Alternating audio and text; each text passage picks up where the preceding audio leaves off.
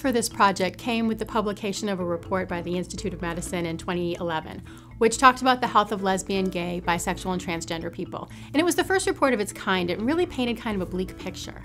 For adolescents in particular, research has consistently shown that these kids are at higher risk for bullying and substance use and high risk sex behaviors, much higher rates of mental health issues and suicide attempts, really everything. And this report summed up by saying that what we know is just scratching the surface, and they issued a call for more research into why these disparities keep showing up. So, what we're looking at here is protective factors things that support kids and help them navigate a healthy path through their adolescence. And we want to figure out specifically what supports LGBT young people. We want to know what kinds of resources they turn to in their communities. We want to know what supports them in their schools. We want to know what messages they get about being LGBT.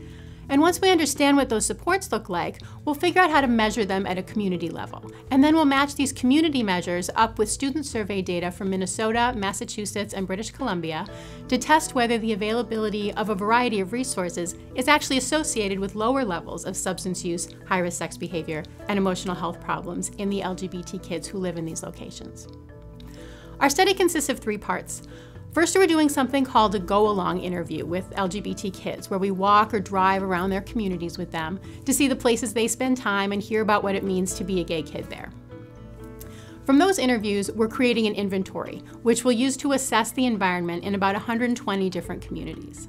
Then, through website searching and short phone calls, we'll be able to give each suburb or each county or neighborhood a score for how welcoming or supportive it is for LGBT people. And then we'll be able to pair these community level data with survey data from thousands of LGBT kids to test whether these features make a difference.